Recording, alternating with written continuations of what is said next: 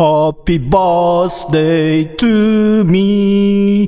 Happy birthday to me. Happy birthday dear なのこっちゃにしゃままる。Happy birthday to me. 2019年3月31日、55歳になりました。おめでとう自分。しかし、未だ55歳で独身。まあ、今年は、ちょっと自分で誕生日を祝うのが遅くなりましたが、まあ、これは毎年恒例の儀式みたいなもんですね。あと5年で還暦ですが、まあなんとか生きています。でも、この後、人生どうなるんですかね。ゴーゴーなんのこっちゃいにしゃま。人生はなんのこっちゃい。なんのこっちゃいにしゃま。今も青春。我がライブ人生。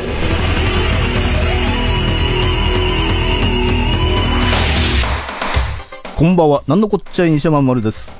今年は55歳、55なんのこっちゃいにしゃまということで、本当は去年のように誕生日にライブ企画をやりたかったのですが、えー今年は10月26日土曜日に、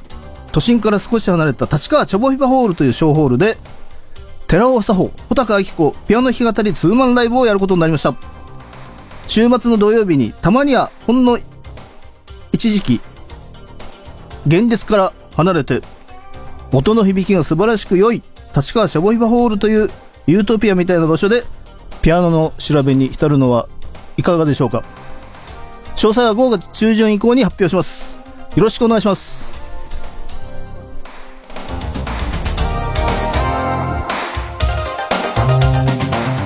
この番組は株式会社アルファの制作でお送りします。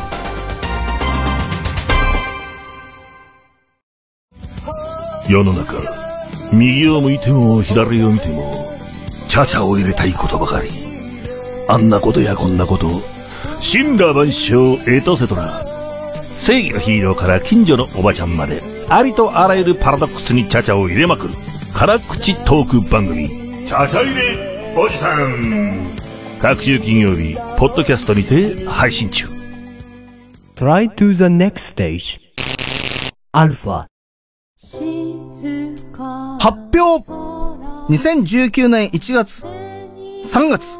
なんのこっちゃーとライブベスト 10!3 ヶ月に1回のなんのこっちゃーとライブベスト10です。チャートは毎回適当ですが、誰も楽しみにしていなくても、ほとんど聞いてる人がいなくても、これはやり続けます。何せ番組タイトルが、なんのこっちゃい西山今も青春我がライブ人生なので、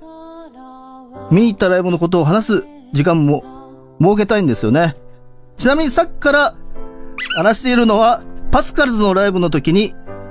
石川浩二さんがステージから投げてゲットしたタヌキです。石川さん、ありがとうございました。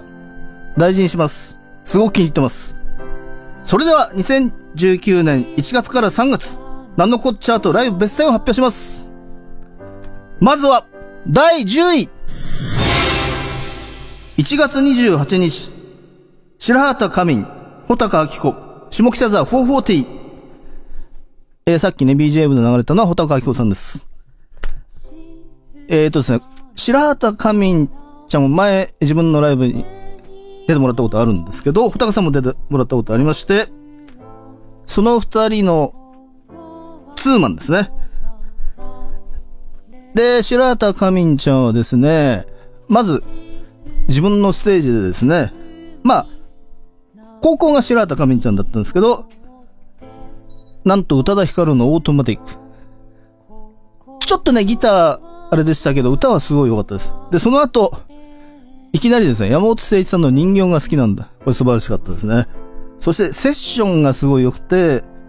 まあ、ジュディマリの、多分、そばかす。ジュディマリ全然詳しくないんでね。そして最後のバラの花、くるりですけど、まあ、くるりも京都で、白畑かみちゃんも京都でね。前、たまにね、カバーしてるの聞いたことあるんですけど、この二人のね、コーラス、ほんと素晴らしかったですね。で、この時に、おたかさんのピアノを聴いて、まあ前に企画したこともあるんですけど、で、ほ、ほたかさんのピアノ、なんかホールで聴きたいなと思いまして、先ほどの10月26日に、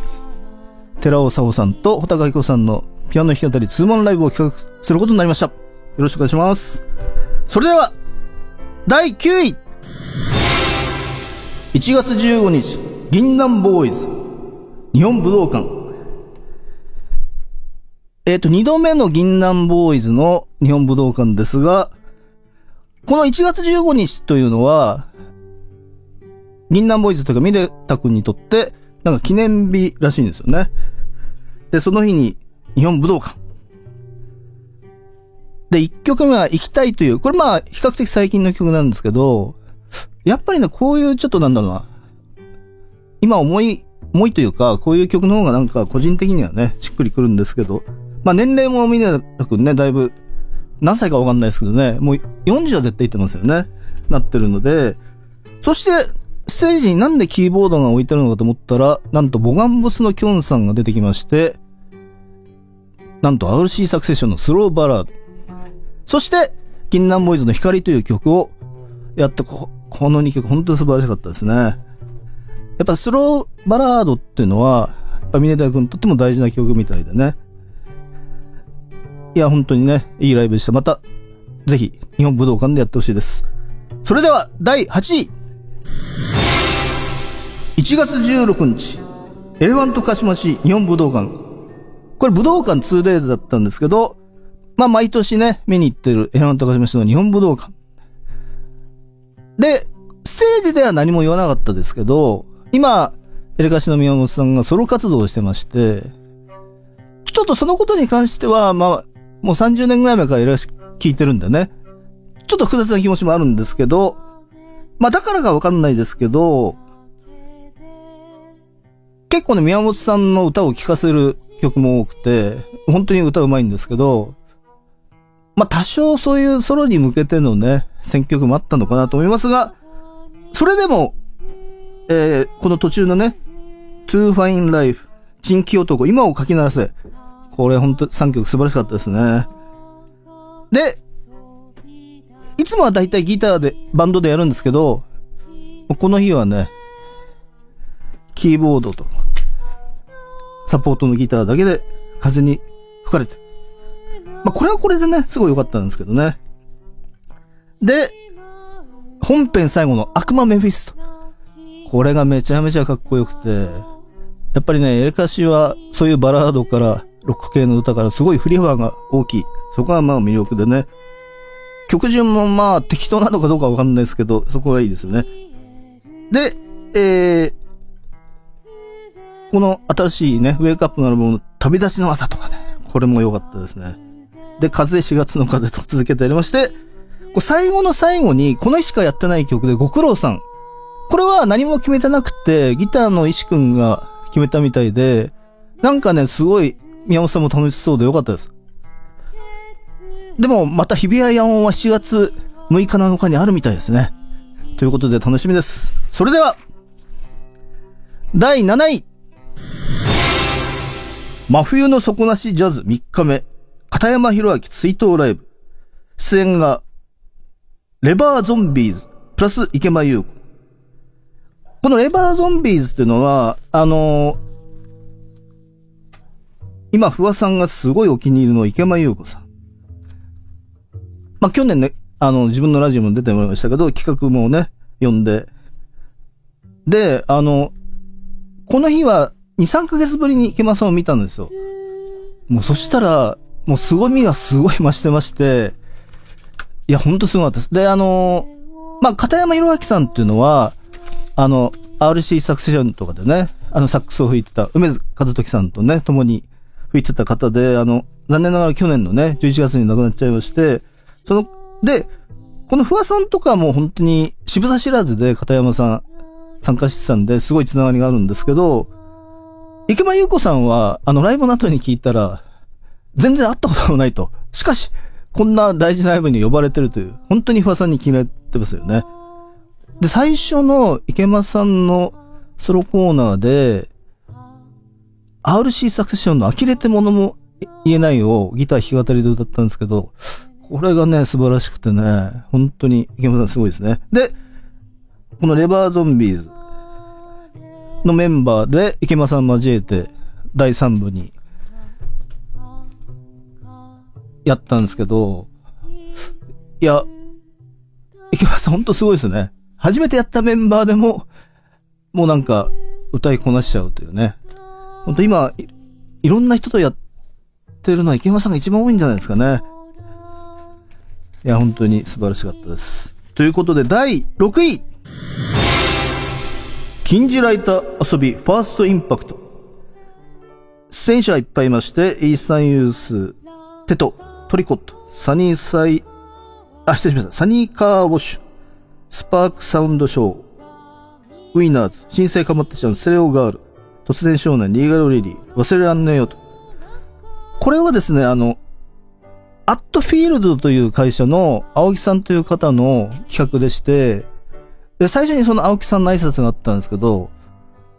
なんかね、それをうるっと来ちゃったんですよ。年齢的にまあ、比較的近いんじゃないかと。で、これはですね、あの、すごい、まだ20代ぐらいの若手から、例えばイースタンユース50歳ですね。ベテラン。で、中堅の新生カバンテちゃんまで、なかなかね、こういう企画、自分でもやりたいと思ってるんですけど、なかなかね、難しいんですよ。一般の人だとね。やっぱなんだろう、ベテランと若手、例えば若手同士の企画だったらお客さんも来やすいし、まあベテラン同士だったらお客さんも来やすいけど、こういうベテラン若手集めて、しかも3500円という安さでね。で、しかもあの、ステージ全部見れる。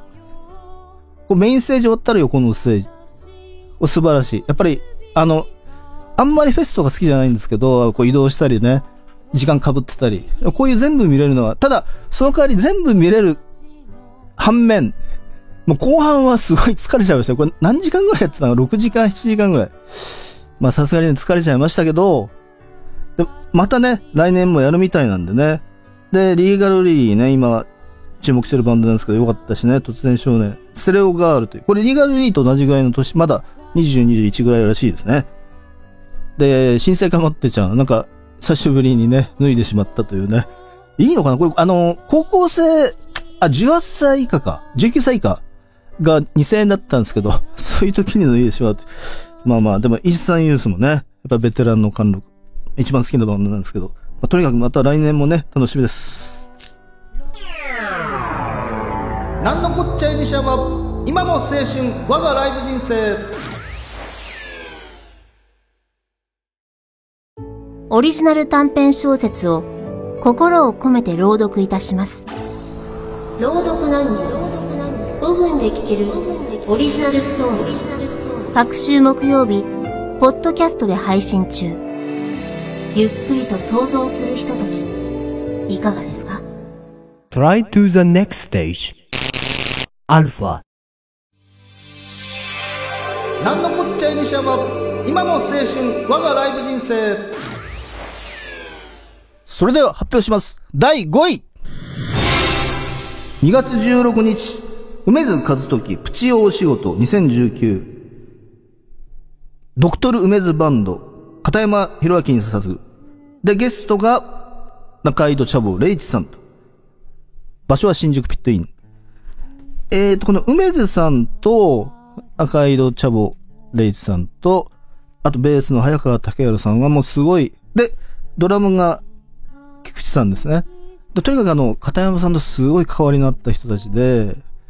まあ、梅津さんはね、もう本当に、まあ、RC 作詞でももう、アルトとテナーサックスでね、二人もうずっとやってまして、で、チャボさんもね、その RC とか、まあ、チャボさんがソロになってもね、何度か一緒にやってたり、で、早川武さんはその片山さんのバンドでね、ベース弾いてたりして、で、実はあの、去年の11月に、まあ、菊池さんはいなかったですけど、今、チャボさんが梅津和時さんと、早川武さんと、チャボさんで、ソウルメイズというユニットやってまして、その時はちょうどね、片山さんが亡くなった直後ぐらいで、まあ、3人で話し合って、あえて何も言わずに、まあ、この今やった曲をね、やったんですよ。それも見た人だったら誰もがね、わかるんですけど、この日はちゃんとね、その片山さんとのエピソードを話しつつ、やって、で、まあ、第一部は、その、ドクトルメズバンドで演奏しまして、で、第二部でチャボさんが加わって、で、その、第二部で一曲目にね、大いなる決別。なんでなんでなんで。これはね、あの、デンジャーというね、梅津さんと今の広瀬さんがやったバンドの曲で、なんだっけな、えっとね、歌詞でなんか、なんで行っちまったんだったっけな？そんなような歌詞が出てくるんですけど、それ、行くっていうのをあの、片山さんが言ったと、まあ、知らない人は、じね、こう、まあ、それはそれでいいと思うんですよね。それ、一曲目がいきなり、まあ、それで選んだのもあるのかな。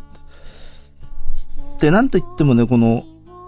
えー、チャボさんが片山さんの CD、そうかなに書いたライナーローツ、ノーツを朗読したんですけど、これがね、なんか最後の感情こもっててすごい良かったんですよね。で、ハレルヤっていうのはレーナード公演。これは、チャボさん歌わずに早川さんとね、梅津さんが歌ったんですけど、これも良くて。で、帰り道という、これはあの、えー片山さんの亡くなったということを聞いて、甲州街道のね、車、チャボさん乗ってる時に作ったらしいんですけど、これも素晴らしいです。で、最後はガルシアの風と。まあ、片山さんご冥福をお祈りしお祈りします。ということで、第4位 !1 月10日、遠藤刑事、検事、デビュー50周年を祝う。男はみんなバカチンだ。出演鈴木圭一、頭脳警察、湯川東弁、直江正宏、アンドソカバ圭一、フラワーカンパニーズ、向井秀則、アコースティックエレクトリック、画鋲、春風亭昇太、渋谷クラブクワトロ。えーとね、エンケンさんはもう去年、一昨年の10月25日に70歳で亡くなったんですけど、本当エンケンさんはね、やっぱ史上最長寿のロックンローラーなんで、まさかね、70歳で亡くなるとは思わなかったんですけど、本当にね、エンケンさんのこと好きでね、最後のライブも見てるしね。で、男はみんなバカチンだというのは、その、エンケンさんが最後に作ったね、えー、新曲です。これがすごいかっこよくて、これもちょっと歌ってほしかったですけどね、誰かにね。で、初めて見た画鋲。これはですね、あの、工藤官九郎さんのバンドですごいかっこよかった。初め、なんかパンクな感じでね。で、しかもその、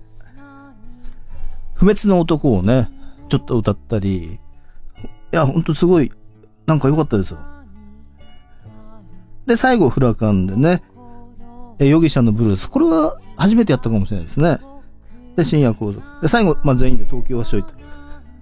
まあ、公式の大きいイベントはこれが最後みたいですね。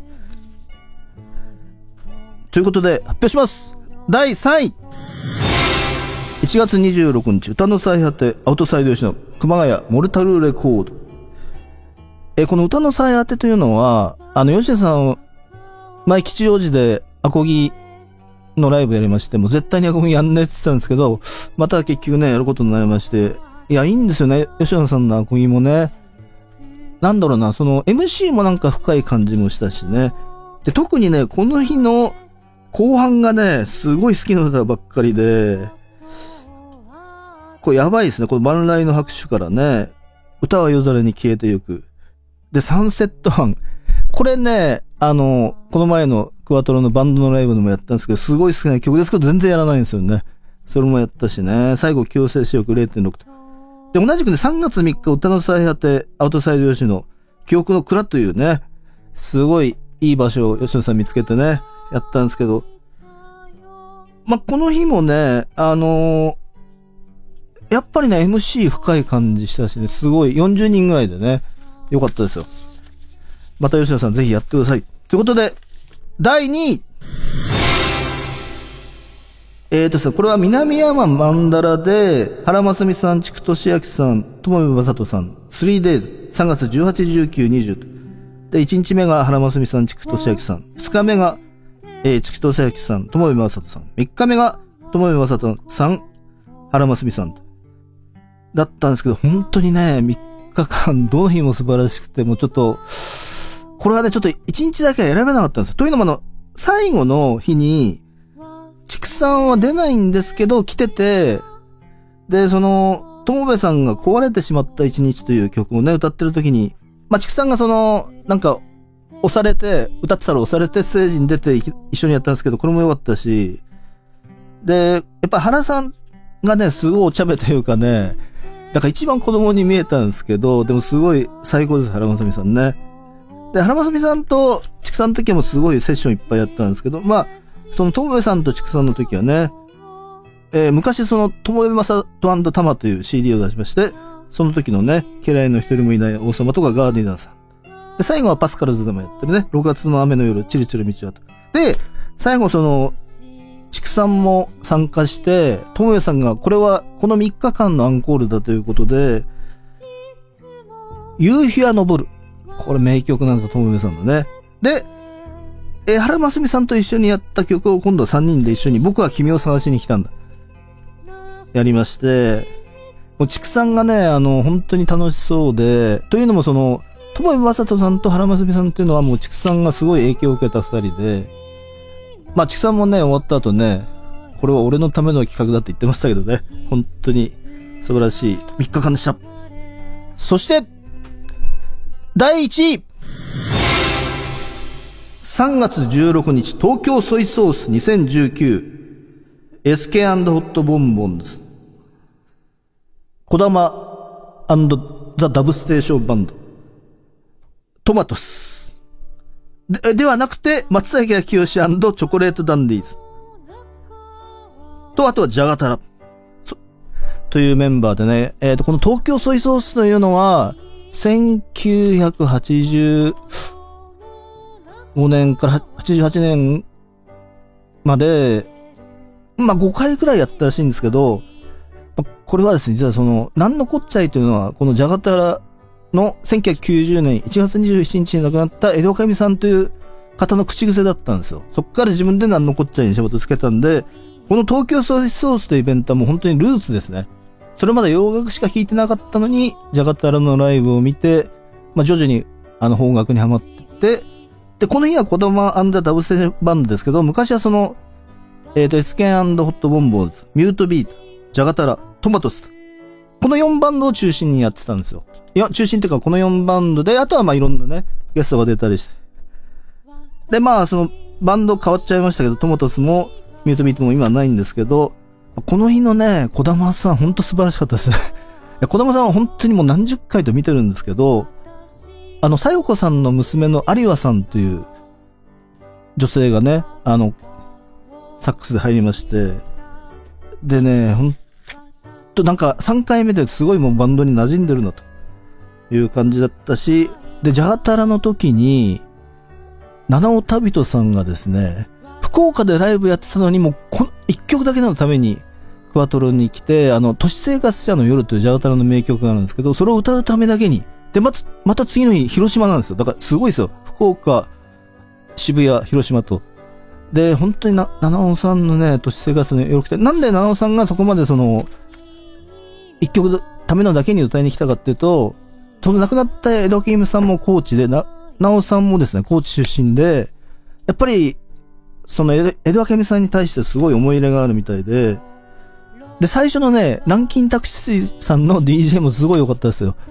なんか昔本当思い出してね、あの、結構代表曲全部歌ってたし、チェイコビューティーさんもね、夢で会えたらで飛び入りしたり、あと、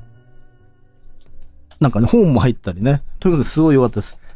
まあ、これはね、自分に影響を与えたライブなんでね、また、これを機にまた頑張ります。なんのこっちゃい西山、今の青春、我がライブ人生。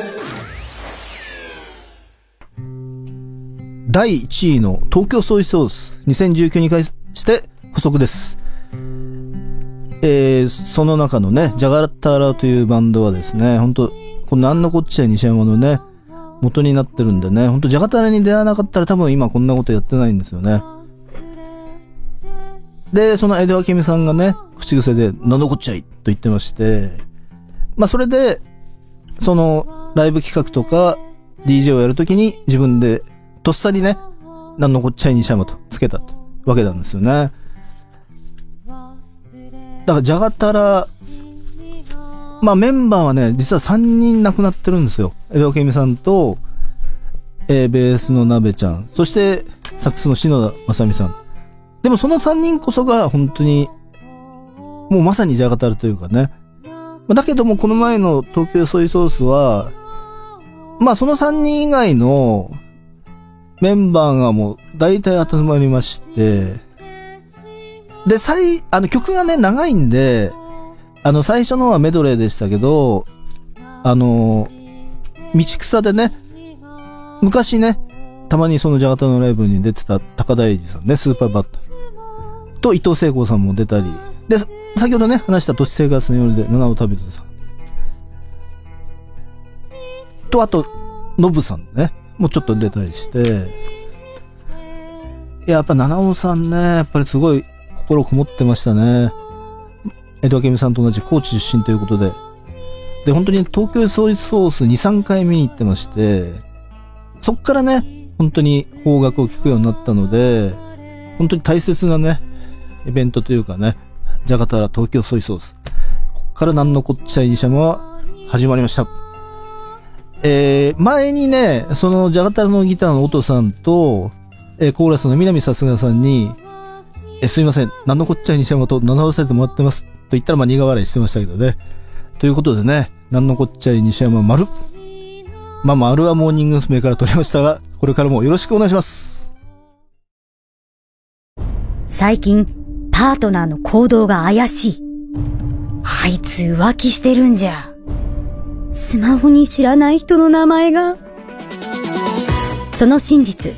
探偵に任せてみませんか？ガルエージェンシー埼玉川越は、刑事27年の勤務経験を生かした調査、報告を丁寧かつ迅速に行います。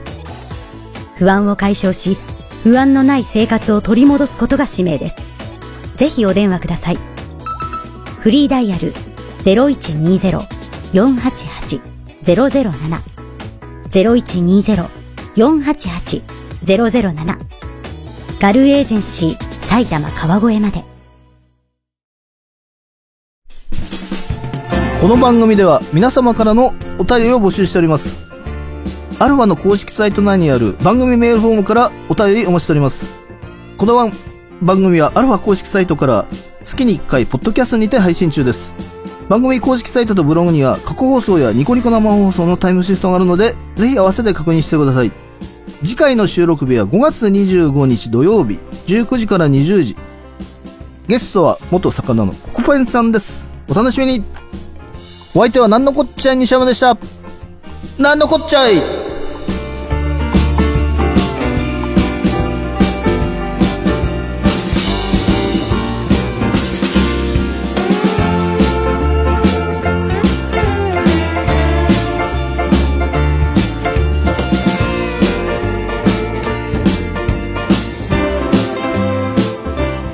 の番組は